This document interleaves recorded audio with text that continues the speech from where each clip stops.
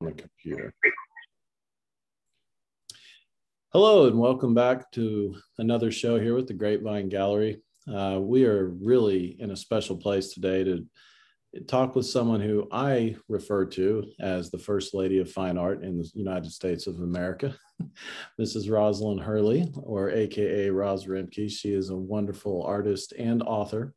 And we're going to have a little book discussion about the book she wrote about her husband Wilson and all of his fine accomplishments, as well as uh, we're going to talk about her work too, as well. So it's going to be a very exciting show today. We have a lot to go over, and we could not be more thrilled to have Rosalyn, or as we call her lovingly, Roz, with us today. So, Roz, welcome to the show.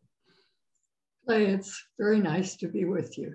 Well, thank you. Thank you. It's always too long. And every time we get to visit, it's just so much fun. Um, I just I always love being in your home and you know not just the art that's in there, but the beautiful views and all the wonderful little touches here and there you and Wilson have done over the years. It's just always a treat to come to what I call the Hurley Museum. Well, we're very lucky to have found this beautiful spot. Well, and as most people may or may not know, I'm not a full-time New Mexican, as you and Wilson uh, lived. Um, Julie and I are part-time New Mexicans, uh, but that's a whole different conversation. And we'll get into that some other time. But um, let's just start off and get going. I know that we've chatted a little bit before the show, but um, if you wouldn't mind sharing with us uh, your inspiration, as we've discussed about uh, the book that you wrote with Wilson, uh, the biography you wrote about Wilson, and uh, just I'll let you take it from here. Well, I, I thought after Wilson died, I uh, was trying to cope with having lost him. And um, I thought one of the easy ways would be to try to remember a lot of the stories that he used to tell. And he had a he had many stories from his family, from his childhood, and uh, on through um, his experiences at West Point, and uh, finally his decision after law school and practicing law for 13 years, his decision to uh, paint full time. He had been a painter, um, uh, a Sunday painter, probably all his life, but uh, he decided uh, after um, a lot of hesitation and a lot of uh, angst that he would uh, devote himself to painting full time. And I thought that it was an interesting story. And, um, and then we were married. Uh, he was already a painter. And um, so I was the record keeper. So I had the story from really from the beginning. And that's kind of what prompted me to uh, start on the book. Well, we're also thankful you took such wonderful records because uh, it truly is a gift uh, to be able to see all the insights of you know what all happened with this amazing career Wilson Wilson had. Um, so one of the things we talked about, uh, not only in remembering Wilson as you mentioned, but um, the inspiration about what Wilson had to say. Um, would you like to touch on that for a few moments? Well, I think he was born to be a painter. And he, um, his early encouragement from his mother um, and his, the fact that she was a watercolor painter, um, just an amateur, and had uh, associations with other painters and they used to go out together and paint uh, with people around Santa Fe, like Jozef Bakos, who was a watercolor painter. So um, that was uh, kind of the, the beginning of Wilson's career as a painter. And his uh, relationship to New Mexico was another very important tie to how he became a painter. Well, and I can tell you after spending extended periods of time in the land of enchantment, it is an absolutely stunning, stunning place to be at all times of the year, really. You know, uh, you know, I know that you all have been there long enough to travel to different portions of the state and you know, just as I've gotten to know the state better, you know, I'd always been up north in Albuquerque, Santa Fe, Taos. And then, you know, I've had the opportunity to go a little farther south and see the southern, you know, national forests and Hatch. And it's really a, state that for people who have not really explored the state of New Mexico, uh, I really feel like everyone would really benefit by doing that. And, you know, I think that Wilson's attraction to the state of New Mexico is what helped him see the beautiful skies, um, not only from being a New Mexican, but being a pilot. That's right. Yes.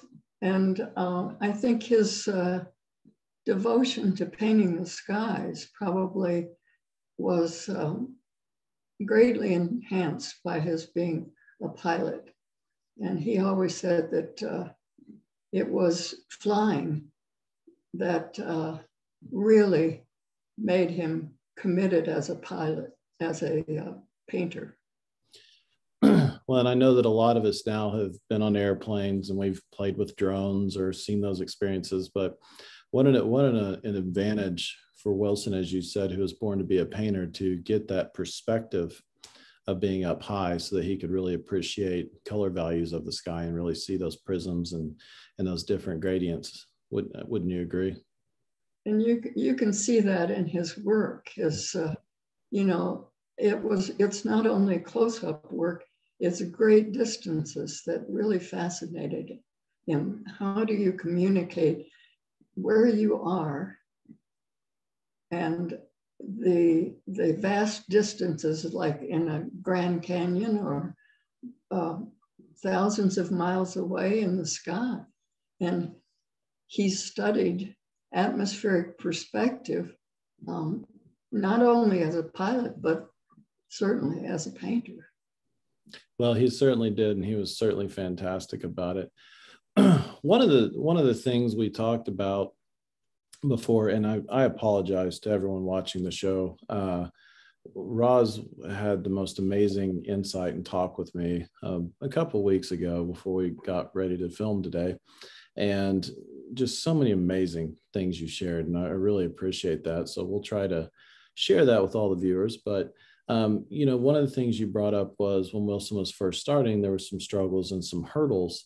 Um, and for newer artists or artists who aren't you know as far along in their development as they want to be uh, would you mind sharing some of those struggles and hurdles that we discussed previously that that he overcame i don't remember exactly what we discussed but but um, when he finally decided after uh, his family um, left him and went back east he uh, was continuing to practice law, and he was um, uh, a, a, man who was dying came in to get his will done. And uh, the man was supposed to have maybe 18 months to live. And here Wilson was uh, in a small law practice and um, not very happy. And his his family was back east and had left him.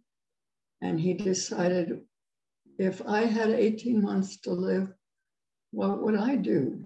And uh, he, without even thinking further, he decided that he would probably get some really good painting equipment and try to paint at least one good painting.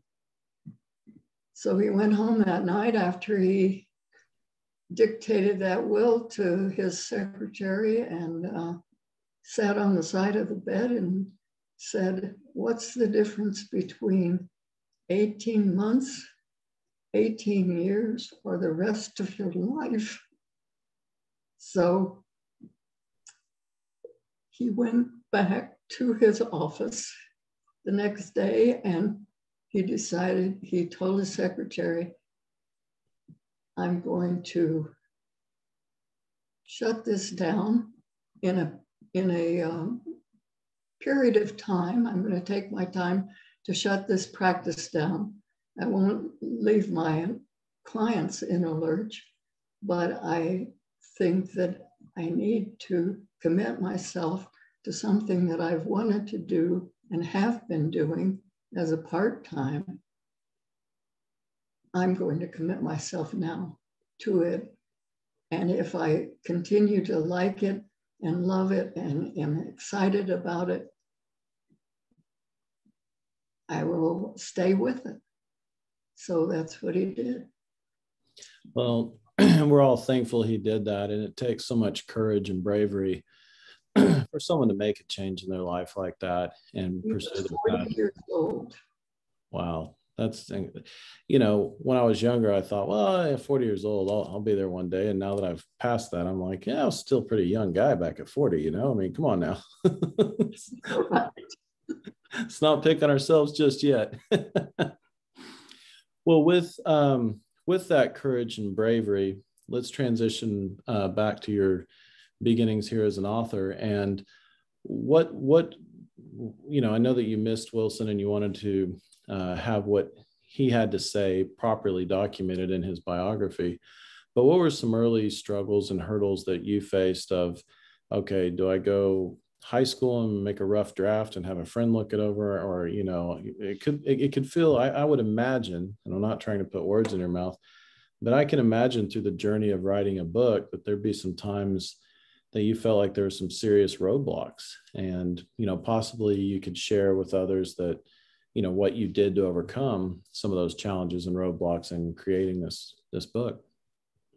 Well you know, as I was painting and I was uh, being fairly productive as a painter, and um, yet all of the time that uh, I was trying to cope with Wilson's death, I felt that um, I had an obligation to share what I knew about him.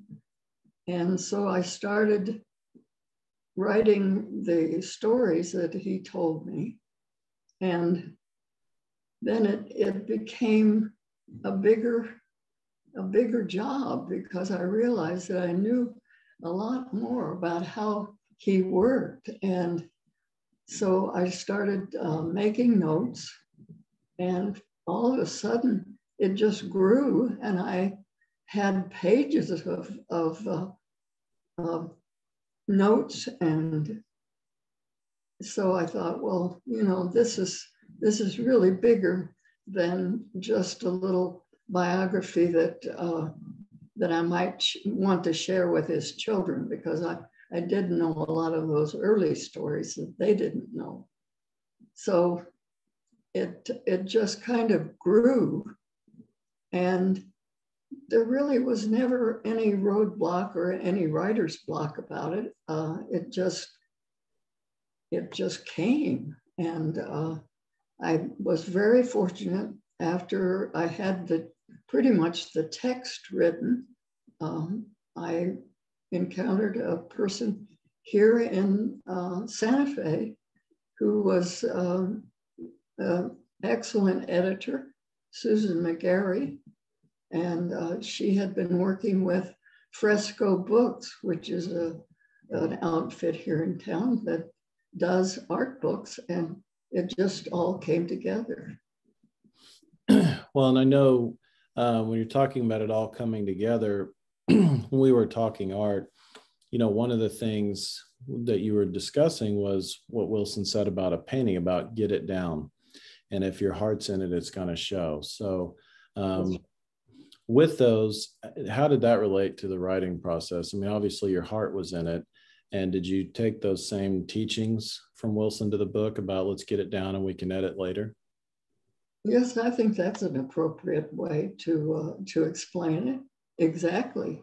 That you just you it's um, you know it was not a um, organic thing that grew piece by piece. It it was it just um, there were smatterings here and smatterings there and and they would come to me in the middle of the night and I'd get up and make a little note about it and that's kind of how it grew. It was a, not a very organized way of growing, but uh, but you know, it, it somehow came together. And then with Susan's help too, I uh, I was able to eliminate things that were not really appropriate and uh, and put in uh, magnify things that, that really were more important. Well, what were some of your highlights through the process or your favorite parts uh, about writing this book? What what what was the, the the if you're looking back and saying, you know, this this is probably what I what I enjoyed the most? Well, I don't know. I you know, it was not a labor. I didn't find it to be lab- laborious, but um, one thing that I really wanted to include and thought was valuable was the, the second part, the part about Wilson's process and what he said to young painters who would send him slides of their work and he would comment on them. And I thought that that was really valuable information that you really don't find very often in art books or in any books. So um, I thought that was correct and you know and i think that's what's so important you know from being around the art business like my wife and i have since 1995 and we are not artists in any way shape or form but we've been very thankful for artists like you know wilson hurley dan gerhartz grant redden tony Hochstetler, all these wonderful kind people who've really helped us understand artists understand the art better walt and dan obviously were our mentors and taught us a ton and I don't know if it's just they saw us as a blank canvas or if artists really truly enjoy giving back and helping each other out. I think they do. I if if they have any generosity of a spirit, they certainly do want to share. And they realize that nobody's going to duplicate what they do. They can't. The message is the individual's message. And if if Wilson could help somebody say it better in a in a more skillful way, um, that was his that was his joy. Well, and I, I, remember we also discussed too about getting the truth down and um, your explanation of it's that artist's view of that moment. And perhaps you want to revisit that with our guests as well. Yes, he, he's made lots of field studies, but a field study has, is still going to be only one moment, one vision that uh, captures you. And um, that was that was important. You can't you can't keep chasing the sun. You have to stick with where the sun was, where when you, you were captured by the scene. well, and I thought that was a great uh, a great explanation because I know several artists will use photographs, and I know that that was something Wilson didn't do. Um, and I loved your comment about the tricky part is getting the motion, and mm-hmm. that um, perhaps you can share with the audience um, what you and I talked about about Wilson saying that you know the photographer actually freezes the moment and you know he wanted to remember it to help capture that motion. Well that's true but i i will correct you a little bit because he did use photographs. Oh okay. He used photographs to um, remind remind him of certain things that that he, details that he didn't necessarily remember um, they were documents that uh, helped him fix his memory. And uh, so he definitely did use photographs. And I think almost everyone does. They, the color is not valid, the color from a photo. And he moved landscape around. He used to say he, he moved real estate around all the time because if a rock was in the way of what he was trying to say, he'd take that rock out, or if he needed one, he'd put a rock in. so yeah, it, it's a it's a flexible kind of thing. But no, he he did use photos, and I think anybody who um, you know Clark Hulings, all of them. Bob Lougheed, I'm not sure whether he did, but uh, he probably did. Bob used to make all kinds of um, um, individual sketches of a horse or a, a trailer or a, a um, person on horseback, and he'd put them into his landscapes. and uh, you know, Bob was not a landscape painter; he was a he was a person painter. Yeah, and a fine one at that too, as well. Um, you talk about moving real estate around. That takes me back to an old newsletter where we took our children uh, for their first trip to New Mexico, and I told them we're going to be driving through paintings, and they said, "Well, what are those power lines doing on top of those mountains?" And I said, "Well, that's an artist's creativity." You know uh, freedom that they get to do to move those things around. And you know just it was neat to give a young some young kids an art education as far as you know just because it's there doesn't mean the painter is going to stick it in the piece. You don't have to paint the the blemish on a person's cheek. Exactly. Exactly. Well up next we have a slideshow i'm going to queue up and we're going to look at a few images um, of the book and wilson and um, talk a little triptych, and then we're going to move into Roz's work as well and talk about that. So if everyone will be patient with me just for a moment for me to share my screen and get all this ready to go, then we will get going here. So you share screen. Hopefully I'm doing it. Roz, are you seeing the slideshow? No. Okay, well, I'm I'm working on it. I better fix the screen first then. Back in June when I did a bunch of these, I was going really fast. So I appreciate everyone's. Uh, well, listen, we're impressed with whatever you do.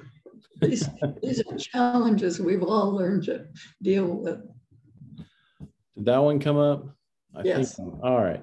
Now I'll clean it up here a little bit. Again, thank you everyone for your patience. Oop, I went a little too far forward. Let me go back here. All righty. so again, just to remind everyone, the um, book is The Life and Art of Wilson Hurley, celebrating the richness of reality. And we have Roz on here as well as the author. So um, with so many amazing images, um, one of them had to make the cover. Um, would you like to share with us why this was the one that was chosen to be the cover? Well, this is a view from our house at uh, just after sundown. And, you know, it was not easy to choose a, uh, an image for the book. Um, so there were many that could have been chosen, but this one uh, seemed appropriate. Well, it's a stunning piece. It's, I was just curious when I first saw it. I thought, you know, wow, that would be a really, really hard decision decision because he has so many amazing pieces. So yeah, you can see the river, you can see the uh, the mountains in the back. Um, and the sky is phenomenal. The foreground is, of course, right up my um, west view. Which it, I've been fortunate enough to make it out there a few times, and it's just stunning every time. So how fortunate, uh, you know, for you to be able to have coffee there and breakfast and lunch and dinner and just see the sky change all day. That that's just amazing. So, all righty. Well, here's a little bit more of a write up on the on the piece where it does mention Susan and Peter and yourself as uh, working together to create the book. And I don't know if people are seeing us, but I'm just going to kind of move us around to get us out of the way. But um, I'm trying. Um, but here's Wilson posing in front of one of the triptychs. And um, I, I, know most people know who've really studied Wilson, the process of him building uh, what he built so that he could paint the sections of the pieces, you know, as he did and then move them out here. Would you like to share just a couple tidbits with the audience about uh, kind of how that process went and how this is really the first time he really saw them all laid out in, in, in their full display was when he was in Oklahoma City. Well, the, the whole project took over five years and uh, we, Wilson committed to it and uh, then he had to start working on just the logistics of it, getting the canvases from uh, Europe and um, arranging for someone to do the, the frames. And uh, we had a conservator who did all of the hanging and he, uh, the, the, the canvases were painted individually, these, these big canvases, one at a time, uh, in the studio here on an easel that had to, uh, that what it was rolling because they, they're 16 feet high and the, the, the, they wouldn't, um, the studio wouldn't accommodate that kind of a, a, a uh, size. And so he could only paint it, um, he could only see each canvas about eight feet, uh, um, about eight feet worth of canvas at a time. So it was quite a long process. And as I say, it took five years. And over that period of time, uh, it involved not only acquiring the materials, but acquiring the people to help, acquiring the um, framer to, to do the complicated and appropriate frames, as well as um, shipping them. They were shipped rolled um, on a big two and a half foot diameter um, drum. So it was a complicated um, project that engulfed his whole life for that period of time and pretty much mine too. I was painting, but uh, yeah, I was I was a helper as well. Well, and one last thing to touch on before we move on. Um, per our last conversation, what I'm fascinated about, and you said he did use, you know, thin amounts of paint so it wouldn't, you know, crack, but just the amount of paint that would have gone into covering you know the the size of these pieces. I mean that's a that's a ton of paint. Yeah well it, it was and um, we had to acquire it all at, at first. We we didn't want to end up uh, not having enough for each each one of the triptychs. So it had to be it had to be acquired in volume. And he did all kinds of uh, tests for um, the, uh, the consistencies of the paints because some, uh, although Winsor Newton and some of the big companies uh, are all um, designed to, to give you an absolutely consistent cadmium red from one year to the next. Not all the com companies can do that. And so we had to do some investigating to determine that that was the, the case with the paints that he used. well, and like we talked about too, you know, if you look over his shoulder here to the viewer's left, I mean, just keeping that consistency of pick a color, the green, the yellow, as it and the purples as it goes from one, you know, the triptych pieces to the next. It's just fascinating that the, you know, yes, they're beautiful when you stand back and look and be like, wow, this really freezes you. It's so pretty. But then it, the more you know about painting a piece of art, you go, how did he keep that color so consistent? That's just fascinating. It's a challenge. And uh, the final, uh, well, there are five tri triptychs and the, and the process improved as he continued to work. The first one, uh, he thought that he could probably match pretty well by just doing paint swatches on a on a canvas, on a, on a separate canvas, and uh, then match to that when he got to the second and third piece of the triptych. But then he had to, and that was this first one that we're looking at here. Then he had to be sure that they were uh, that they matched pretty well. And um, he found that he had to go back into this one and uh, and do a little touch up on some of them to be sure that uh, that they the transition was appropriate. Well, what a what a fun process to have a backstage pass to. That that it might, I know it was a long process, but you know to to be a part of a historical moment like that must just been fascinating. Yes, Walter and Dan were involved in all of that too. They used to come out and and uh, see what was going on. Well, I I I don't blame him. Heck, if I knew that was going on, I'd been coming by to, to snoop, and I, I don't think there was a better term. I would have been snooping just so I would kind of know what to expect, just because of being a little giddy. But uh, with this one, uh, it's probably you know not I know I'm not supposed to say which one's my favorite, but it is probably one of my favorites, not just because of the painting, but because of the story in the painting. Um, so if everyone will pardon the graffiti for a moment, the red arrow is supposed to lead the eye so that next time you all are visiting the amazing uh, hall, as we call it, but the Cowboy Western Heritage Museum, uh, there's a little story about something hidden up there on the on the top of the waterfall. Do you, would you like yeah. to? But the arrow doesn't point to the right place. Oh, am I off a little bit? So I think I need to be over here. That's right. Okay. That's so here's here's our editing for the moment, but it's actually right here. That's right.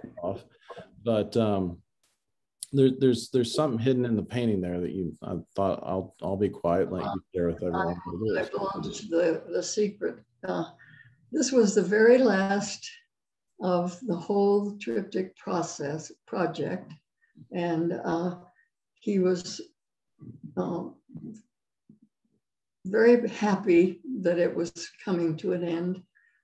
And he decided that he would put two figures up. There is a uh, right where on the other side of the of where the that right there, that's where there is a um, overlook. And so he put Wilson Hurley in that overlook and Roz Hurley in that overlook. And of course, Wilson is probably about not even seven eighths of an inch high, and I was probably five eighths of an inch high. And so when he uh, proudly told me that, that he had painted our portraits in there, I went up close to it. You know, as I say, we were only just very small. And I said to him, My hips are too big. it's one of Dan Blanchard's favorite stories. So thank you for sharing because it's it's just make that's why this piece is yeah, we were both we were both joking about it because it was such a relief to have the whole project uh, coming to an end. Well, and one other fun inside tip uh, to share, you know, Dan used to love to tell this story too that um, as a married spouse of an artist and being Wilson's wife, there were times that you used to try to walk all the way across the room to compose yourself. Um, you'd sneak a glance out of your eye before you turned around to tell them what you thought. Um, was this one of those moments too, or did you just go right up to it? Oh no, this was not one of those moments. This was this was a happy moment. We were we were very very happy that this whole big project was finally coming to an end. And this was the very last piece that he was painting. You know, he, the other triptychs, he painted the centerpieces first, but on this one, he decided to leave the centerpiece to the last so that the, the, they were hung at the hull and um, the, the two, if you can imagine what a strange picture would be with these two paintings, side paintings there, and not have the centerpiece. Hmm. And uh, he thought it would be a great kind of a dramatic moment to, to un- unveil that big one finally. well, that, that is fun. Well, thank you so much. It's always nice to get little tidbits about something that everyone has common knowledge about as far as the the triptychs and then and then know which one came first and which one came last. And uh, so thank you so much for sharing that with everyone. Well, I could, I could go on forever about the triptychs because they were they seemed to take up forever. well, and maybe we'll do another show about that down the line, and we can share some more information about uh, certain aspects of it that we feel like could help artists, and that way Wilson can continue to help artists who uh, maybe are looking at doing a triptych. So um, now on, to, pardon me. I hope they do do well, triptychs. I do too. Well, here's a piece by you um, that you paint under your maiden name, Rosalyn Roembke. Um, and this is August Sunset from the Sandia. um, would you like to share with the viewers a little bit about specifically where you were with this piece and the color values you, you captured in this landscape? This is uh, from my west view. It, we're looking west toward the sunset. And Wilson, of course, painted it any number of times. And uh, this one was a particularly dramatic sunset. And I had been working on uh, um, landscape with a friend of mine. And um, so this it seemed appropriate to, to try to do the shading of the sky the way he advocated. You can see the, the uh, shades from uh, the brilliant sunset to the green that it passes through up to deep blue. And uh, I think, though, that there is a, a, a, a problem with that slide because uh, that one little bright spot in the sky is not really real. that, that is a product of the slide or of the uh, image. It's, so if you could forget that that's in there, yeah, you'll see that could be an error on the part of the photographer. This a guy who's not very good at taking photos. So one of my favorite parts of this piece is that moment, and it's so exciting. It's almost like when a firecracker is just starting to go off at a big display because I'll use my cursor here, but you have these dark values in these clouds that as the sun's going to go down, these will illuminate as the cloud is up here and the edges are starting to do here and it's such an exciting time when you're watching a sunset that um, you know a lot of people go oh, it's almost over. Let's go back to the car. And it's like no no no. Just wait. You know it, it changes. Well and, and it's a real challenge to paint it. The uh, the uh, values in the, the foreground are especially a challenge because uh, you've got really dark and then there's a transition of values clear to the sunset. The, the very, very bright sun. And uh, it's, it's a, a, uh, a real challenge. And, you know, I normally didn't do things like that because uh, I had uh, a pretty accomplished sunset painter here in, in the house. Yeah. and uh, this was done after Wilson was gone. I didn't have the nerve to do it while he was still alive.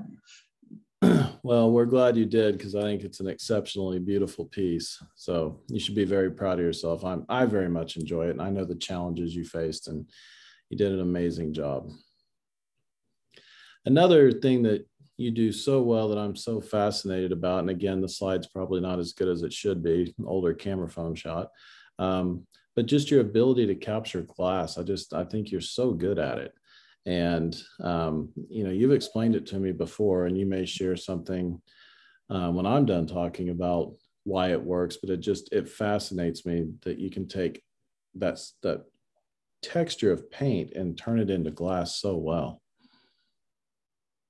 Well the the real um, element to it is values. And uh, it's if if you can understand the lights and darks and the uh, the reflections, the, the values, the, uh, uh, the very careful um, placement of lights and darks, then it's it's a cinch. All you have to do is is draw it and uh, and then study it. And some some painters who paint glass say that they have to close one eye in order to get the reflections uh, accurate enough. But I don't do that. I just uh, I just wing it. I just do it uh, and you know, it it's probably not perfect, but it's an essence, of the essence of it, I think. As with the as with the landscape, you have such a you know short period of time to you know capture that moment. Um, with still life like this, how do you paint during a certain time of the day? Do you go back to it? Because I know with a slide coming up, we've talked about that from time to time. But um, what are what are some tips and strategies you use about keeping the light consistent when you compose a piece like this and study it to make a finished painting? Well, you you uh, if you're lucky, you have a, a, a studio that it has consistent light from the north, and uh, so the light doesn't really change. Um, if you're painting outdoors, of course, it changes, and you have to plan for that. But uh, in a studio, your light is consistent. And uh, so you can work on it for, for a long time. The challenge is uh, planning it so that um, enough of the paint is wet that you don't have hard edges that you have to then uh, deal with. Um, I now paint, these, this was done with brushes, but most of my work now is with um, with knives, and um, and that's a whole different um, series of challenges. well, and one of my favorite pieces in our house is um, when I needed to be corrected on a newsletter, and I talked about palette knives versus a painting knife, and uh, you so generously sent us a gift to remind me what the difference was, and it's still hanging on our walls today. So I now have that up, and it's one of my favorite pieces. Um, again, going with glass, this is a, another piece that I like so so much, just because of all the challenges uh, that would present itself. You know, with the reflection on the table from the silver, the glass, the reflection in the silver, with other items from the still life here. Um, and I'll let you talk about this piece a little more, but I just I just love how this piece came together. Well, thank you. I, I appreciate that. Um, this is a, a piece that um, was from the, the um, wooden piece is from Wilson's mother. And it, it's a carved piece. You can see there's a kind of a wolf's head right there and other things. Um, and then this um, is in the dining room and I left it in there because it's a heavy piece. So I, I set up in there and, uh, and painted it. Um, fortunately, the, the light was fairly consistent.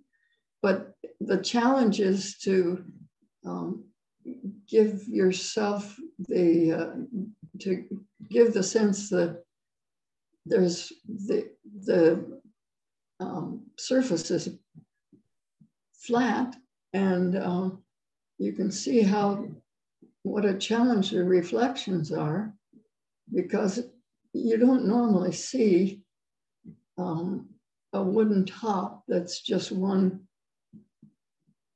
kind of milky color.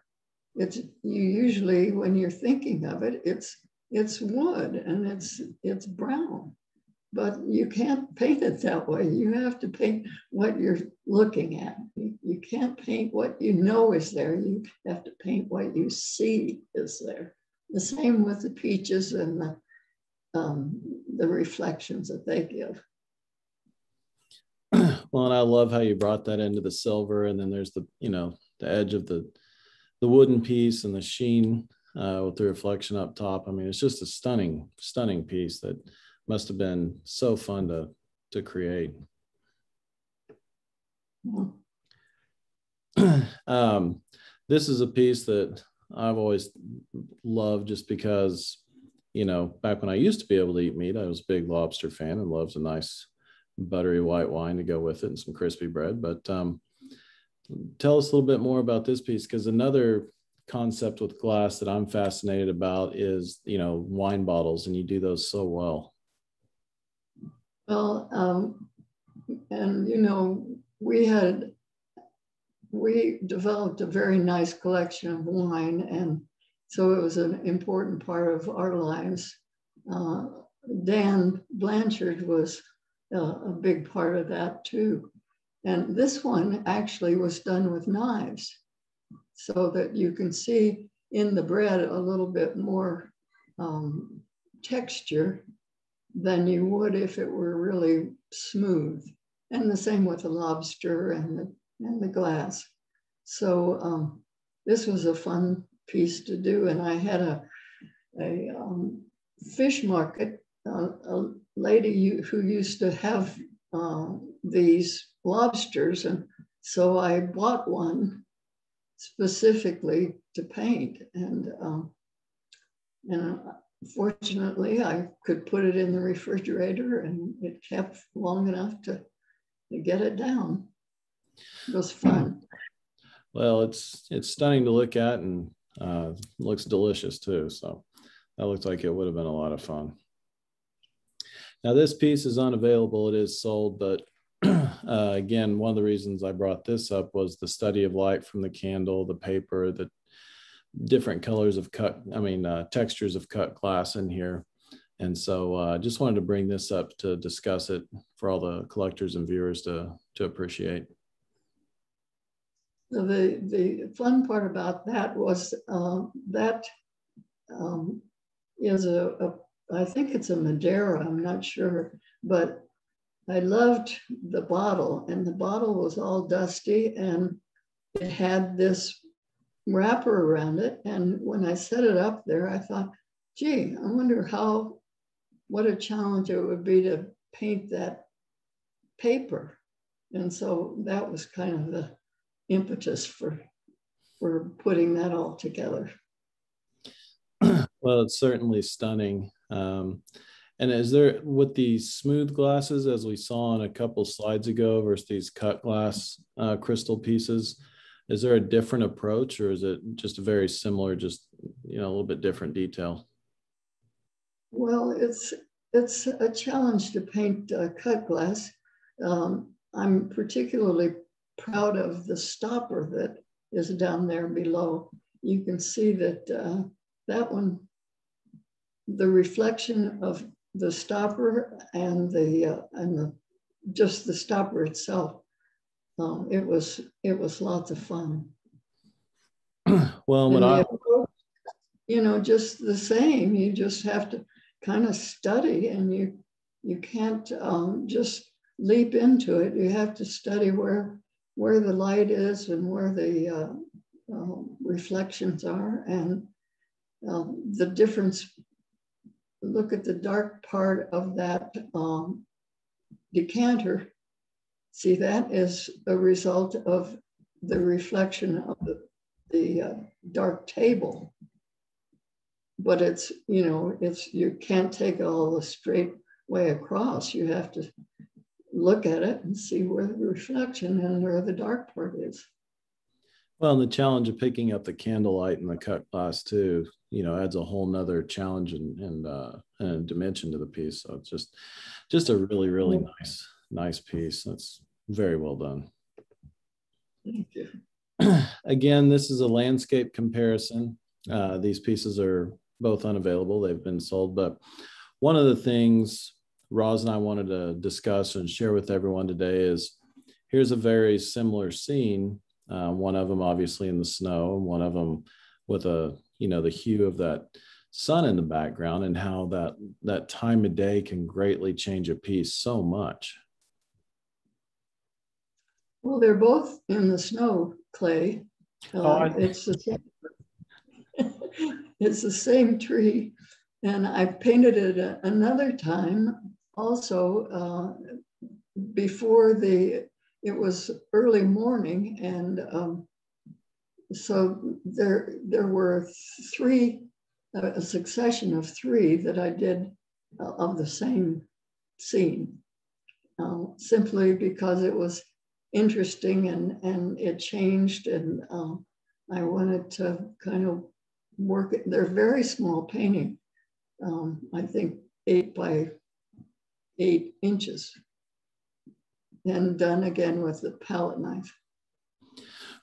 Well, and I always think it's so fun uh, when you get a, some pieces like this where there's been a snowstorm that's come through and, you know, it looks so cold and, you know, like, oh, don't go out there when it's gray and it just feels colder. But it's probably the same temperature, but just that value of the sunlight, you know, in a, in a sunset uh, really brings out the different colors. Um, another comparative thing is, you know, being in Oklahoma, we see this kind of snow on the right where I'm moving the cursor, which is white.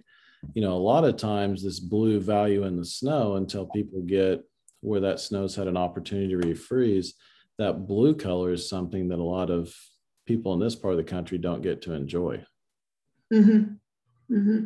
Well, you're looking south uh, from from uh, my my um, um, house, um, the west side of the house. So you're you're looking south, and the uh, the sun is has set probably. Um, the sun is farther to the right, but um, I thought the the uh, the sky was very interesting, the way uh, it changes, changed color. It very much, very much was that evening. And kind of going back to the other uh, sunset piece, you know, the fact that you did this one at an angle, you know, lets you have the foreground values a lot more pronounced uh, as opposed to the darker values when you're looking straight into a sunset. Exactly. Well, um, this is our ending, so to speak, of the, the the chat. As we can see, we put a little collage together here of some portrait work of Wilson, and you all uh, posing for a photo there. And um, again, the information, if everyone would like a, a copy of the life and art of Wilson Hurley, written by Roz Roembke Hurley, uh, edited by Susan Hallsten McGarry, and uh, with the forward by Peter Hassrick. Um, any final thoughts on the on the book and the process you'd like to share with anyone? No, I um, I'm glad it's available, and I think it's probably um, um, it was to be a record of Wilson's work, and um, I thought that uh, it was appropriate for me to do it. I think other people will probably write about him, and uh, from a different point of view, from maybe a, a, a more academic point of view. But um, this was what I thought was valuable to talk about for, for his memory. Well, we all thank you so much for all your hard work, not only with your painting, but your work as an author as well. And, um, you know, we just, we really appreciate the time you've spent with us today to talk about the book, talk about his work, your work, and it's uh, it's been a big pleasure. So I'll hit the stop share button here real quick, and here we are back in in larger view. Um, before we go, Roz, um, what's up next? You know, you've you've done your triptychs with this book with Wilson, and um, you're back at the easel, which I'm excited to hear. So, uh, what's next for Roz? Well, I think I will continue to paint and try to get back to to the painting that I uh, to the level of painting that I was doing before the before the book. But I think these these programs that you're putting together, Clay, are just really lovely and um, valuable for the for the art group that you communicate with. And, uh, and I know that involves collectors as well as other artists. And um, just tell them to keep on painting and sculpting. Well, I certainly will. And thank you so much for your kind words. We're, um, we're, we're just getting started on this, and I'm sure it's very basic at best right now. We'll try to get better, and more tech savvy, and uh, maybe even get interactive one day. Who knows? But uh, the biggest purpose of this really is to let the artists talk about the art in the beginning and um, give their work a voice, so to speak, as we've all talked. And it's it's just I feel that these shows, the real value in it is letting the artist talk about their work because there's certain things that maybe a collector doesn't see um, in the piece and with the artist talking about it they can appreciate their work even more. Whereas we've talked about earlier today, a, a, newer painter, a younger painter, or someone who's looking to refine something in their work um, to help them learn and get better too, as well. So, you know, Walton Dan Roy is about art education, and that's something Julie and I still value very much. And uh, we're hoping that continues. Well, they certainly were about education, and that's how we first got to know them. And uh, I think it's wonderful that you're continuing that tradition. Thank you very much. Well, we thank everyone for joining us today with our show. Uh, these pieces that we've discussed are obviously available for you to purchase of Roz's. Uh, you can feel free to contact me through our website, grapevinegalleryokc.com. You may call us at 405 528 3739, or you may email us at clay.grapevine at gmail.com. All of that will be on the website. But uh, this show will obviously air for our big winter festival, and you can call, call me up and we'll just uh, make arrangements to get one of these beautiful pieces in your collection. So Roz, once again, thank you very much. Thank you, Clay. Good luck to you. And good luck to you.